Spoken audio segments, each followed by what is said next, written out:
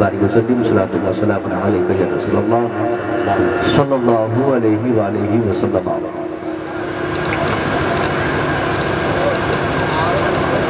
पीर तरीक़त हज़रत अल्लामा अब्दुल तवाब अपने फर्जन के मुफ्ती बनने पर तादीस नेमत के तौर पर इस जलसे का इनका फरमा कर हमको, आपको, सबको अपने घर का मेहमान बनाया। यकीनन जो काम ये तनहा कर गए, यही काम इस तरीके से करने के लिए पूरा गाँव लगता है। मुफ्ती तुफैल साहब, अमजदी, जिन्हें बजाते खुद मैं दो चार पाँच सालों से जानता हूँ। इनके उस्ताद हज़रत मुफ्ती आल मुस्तफ़ा साहब अली रहमान मेरे बहुत क्लोज थे, जिनसे, इनके ताल्लुक से मैं हमेशा पूछता उनसे जब भी गुफ्तु होती। तो अच्छे तासुरात वो इनके हवाले से मुझ तक पहुँचाते। बड़े मेहनती, लगनशील कुछ कर गुजरने की चाह रखने वाला मुफ्ती अगर इस समाज का है तो वो मुफ्ती तुफैल साहब है। बेशक। मैंने मुंबई में देखा है हज़रत अल्लामा अब्दुल तवाब साहब किबला की इज़्ज़त। बारहा मुंबई जाना रहता है। मैं कभी कभी हज़रत को बतौर मज़ाक ये भी कहता हूँ कि आप तो वहाँ के बादशाह हैं। मेरी दावत होती मुंबई में और ये मिलने जाते, बड़ी खुशी होती। इस वजह मोहब्बत का तकाजा था। तकरीबन 700 किलोमीटर दूर चलकर मैं आप तक पहुँचा। आने की बहुत बहुत दूर तक कोई सूरत नज़र नहीं आ रही थी। कल रात में पलामू डिस्ट्रिक्ट में बिल्कुल आखिरी जिसे में झारखंड और उड़ीसा के बॉर्डर पे था। छत्तीसगढ़ और झारखंड के बॉर्डर पे। वहाँ से मैं बाई रोड और बाई ट्रेन यहाँ तक पहुँचा। सिर्फ़ इस ख्वाहिश की तकमील के लिए कि पीर साहब नाराज़ न हो जाए। यकीनन ये आपके गाँव और समाज के ज़रूर है, मगर इनकी एक अलग छाप और पहचान है जिनका एतराफ़ हमको आपको करना चाहिए। अल्लाह ने जितनी नियामतें इन्हें अता फरमाई, इन तमाम नियामतों में एक बड़ी नियामत इनके लिए इनके बेटे का मुफ्ती बन जाना है। तो ये सुबह अल्लाह आदमी अपने बेटे की तालीम और ताल्लुम के लिए इस ज़माने में ज़मीन बेचकर, मकान बेचकर, खेत बेचकर, खलियान बेचकर, सारी प्रॉपर्टीज़ बेचकर एक आदमी अपने बेटे को डॉक्टर बनाता है। उस बाप की तमन्ना रहती है कि, जनाबे वाला, मेरा बेटा डॉक्टर बनेगा। उसके बाद मैं बिल्कुल आज़ादाना तौर पर समाज का हिस्सा बन जाऊँगा। फिर मुझे किसी चीज़ की कमी न होगी। एक बार बेटा डॉक्टर बने मौलाना, फिर ना पैसे की कमी होगी, ना ताकत की कमी होगी, ना इज़्ज़त की कमी होगी। एक इंसान की फ़िक्र होती है अपने बेटे को कॉलेज के प्रांगण में डालते हुए कि हज़रत मेरा बेटा शानदार इंजीनियर बनकर पैसा कमाकर नाम कमाएगा। अच्छी बात है, आदमी को अपने बेटे को डॉक्टर, इंजीनियर बनाना चाहिए। मगर मैं यहाँ आपसे ये कहने आया हूँ कि एक डॉक्टर और इंजीनियर के तनाजुर में, जब हम में से किसी का बेटा आलिम दीन तैयार होता है तो उस शख्स को किस कदर हकीकी खुशी होती है और कैसी सच्ची कामयाबी उस इंसान को नसीब होती है? आप मुलाजा करें। डॉक्टर बनना, इंजीनियर बनना, आईएएस बनना, आईपीएस बनना, ये सारी चीज़ें अपनी जगह मुसन्नम। मगर तमाम कामयाबियों के साथ एक बड़ी कामयाबी एक आदमी का अपने बेटे को डॉक्टर नहीं बल्कि आलिम दीन बनाना है।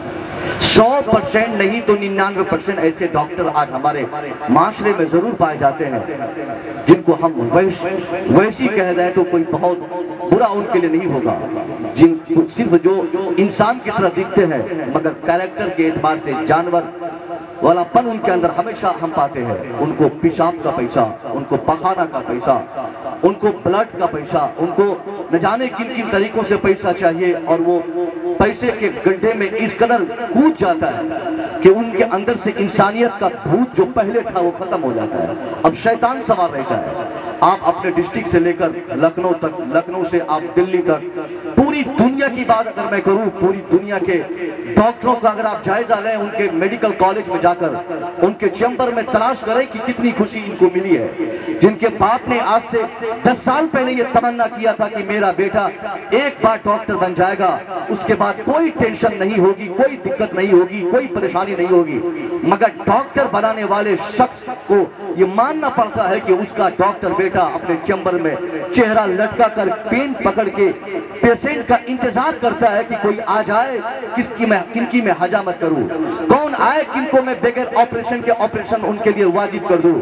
कौन आए किनकी ज़िंदगी तबाह कर दूँ नतीजे में? एक गरीब आदमी बीवी को लेकर उस डॉक्टर के पास पहुँचता है। वो डॉक्टर उस गरीब इंसान की बीवी को बगैर ऑपरेशन के ऑपरेशन ज़मीन बेचने पर मजबूर किया, मकान बेचवा दिया, सारी प्रॉपर्टी उनके दाव पे लगा दिया सिर्फ़ अपनी जंगली ख्वाहिशात की तकमील के लिए एक डॉक्टर, कभी पखाना के नाम पे, कभी पेशाब के नाम पे, कभी खून के नाम पे, कभी बेड के नाम पे, कभी दवाई के नाम पे, पचास रास्ते उनको पैसा कमाने के हैं। बावजूद इसके होना ये चाहिए था, उसका बेटा हमेशा खुश रहता, मगर वो डॉक्टर खुश नहीं। कैसे सच्ची खुशी मिलेगी? उसका बाप तो पैसा कमाने की मशीन बेटे को समझा। एक बाप जब बेटे इंजीनियर बनाना इसलिए चाहेगा ताकि बेटा इंजीनियर बन के पैसा कमाएगा। पैसा तो बेटा कमाएगा, मगर इंसानियत उसमें हम तलाश करेंगे, इंसानियत नहीं मिलेगी। आदमियत खोजेंगे, आदमियत नहीं मिलेगी। इस पूरी कायनात में जितने लोग डिग्रीधारी है, सबकी डिग्री अपनी अपनी जगह अच्छी है, मगर मैं किसी की डिग्री को निशाना नहीं करता। उन तमाम डिग्रियों के साथ साथ एक डिग्री है जिसे आलिम की डिग्री हम कहते हैं। जो आलिम की डिग्री जिन्हें तफवीज होती है उनकी शान इस कदर बुलंद है साहब इस जमाने में। पाँच हज़ार रुपया कमाएगा, मगर कायनात का अगर कोई बहुत बड़ा हिटलर अपने आप को साबित करता हो, वो पोजीशन उनकी भी नहीं होती जो एक आलिम रब्बानी की होती है। इसलिए एक बात को सच्ची खुशी तब हासिल होती है जब उसका बेटा डॉक्टर की जगह आलिम दीन बनता है इंजीनियर की जगह हाफिज कुरान बनता है। उसका बेटा आईएएस की जगह एक बहुत बड़ा मुफ्ती बनता है। आईएएस बनेगा बेटा, पाँच साल के बाद चोरी में पकड़ाएगा। डॉक्टर बनेगा, डॉक्टर बेटा तमन्नाओं के जंगल को सजाने के लिए किसी का खून करेगा, किसी का ऑपरेशन करेगा, किसी के बगैर दवाई के दवाई उसके लिए लिख देगा। ये नतीजे आएँगे कि वो डॉक्टर तो होगा, मगर इंसान नहीं हो पाएगा। इसलिए एक बाप को सच्ची खुशी हासिल हुई, ए मेरे मौला, तूने मुझे जितनी दौलत दी, मकान दिया मेरे लिए अच्छी बात है। मुझे खेत दिया ये अच्छी चीज़ है। औलाद भी दिया ये अच्छी बात है। मगर औलाद में भी अल्लाह, तूने मेरी औलाद को आलिम दीन बनाया, ये बहुत बड़ी खुशी की बात है। क्योंकि एक इंसान की सच्ची खुशी उसके बेटे का आलिम दीन बन जाना। जब बेटा आलिम होगा, वो बाप दावे से कह सकता है, मेरा बेटा आलिम हो गया, अब मुझे अल्लाह से कोई दूसरी चीज़ की तमन्ना नहीं। क्योंकि जिसका बेटा आलिम है, बाप यह कह सकता है, मैं मर जाऊँगा, मेरा बेटा डॉक्टरों की तरह वहशतनाक अंदाज में ज़िंदगी नहीं गुजारेगा।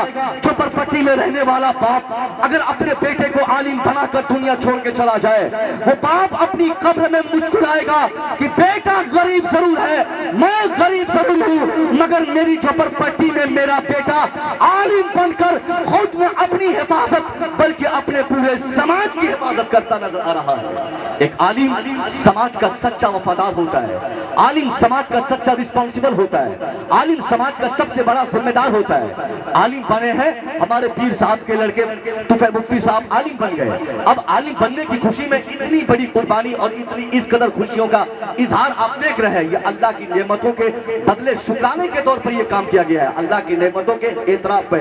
अगर अल्लाह आपको पैसा दे तो उसका एतराफ करे। ताकत दे तो एतराफ करे। माल दे तो एतराफ करे। दौलत दे तो एतराफ करे। चेहरा न लटकाए कि अल्लाह ने मुझे क्या दिया है?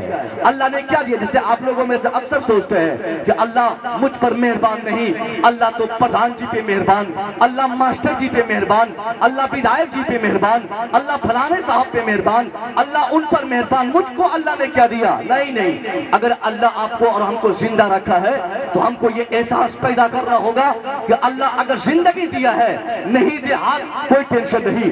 पाँव छीन ले कोई दिक्कत नहीं। आँखें ले ले कोई परेशानी नहीं। सिर्फ़ हमारा रब अगर हमको साँसें लेने और वापस करने की ताकत दिया है तो ये भी अल्लाह की बहुत बड़ी नियमत है। क्योंकि ये तहदीस नेमत के तौर पे प्रोग्राम रखा गया है। आपको मुझे ये बताना है कि हम हमेशा अल्लाह का शुक्र अदा करें कि मौला तेरा शुक्र है। अल्लाह एक कट्ठा ज़मीन दिया तेरा शुक्र है। अल्लाह एक कमरे का मालिक बनाया तेरा शुक्र है। दौलत पैसे शोहरत, मकान, गाड़ी, खेत, खलियान, ये सारी चीज़ें अपनी जगह मुसलम है।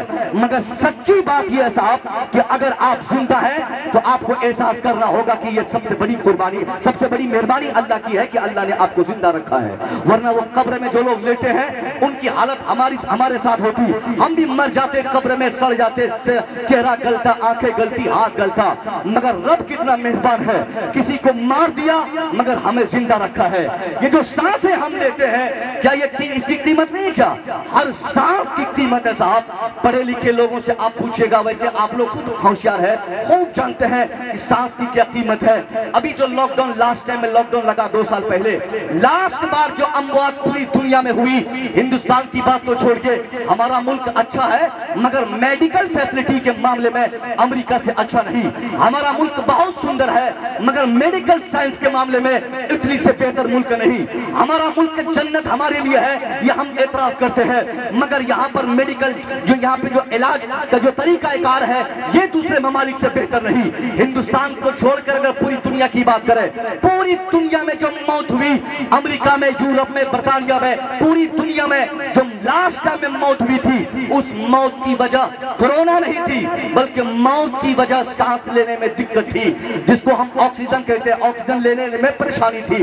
वेंटिलेटर मशीन का सहारा लेना पड़ा। वो ऑक्सीजन सिलेंडर लोग खरीद खरीद कर अपने अजीजों को बचाए। पूरी दुनिया में हाहाकार मच गया। हर आने वाली शाम न्यूज़ में हम सुनते कि आज पच्चीस हज़ार हिंदुस्तान में, पचास हज़ार पाकिस्तान में, दस हज़ार अफ्रीका में, बीस हज़ार अमरीका में। अमरीका की हालत तो साहब इतनी खराब हो चुकी थी।